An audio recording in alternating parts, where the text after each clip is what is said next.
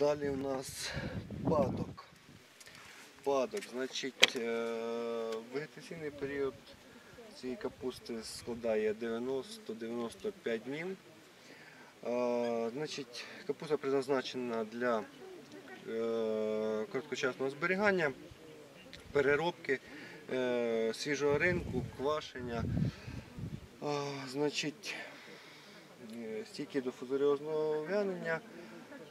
А, Значить, щільна структура.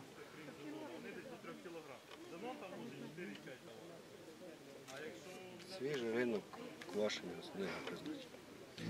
Спасибо за внимание. С вами был ваш супермаркет Семян. Подписывайтесь на наш канал и ставьте лайки.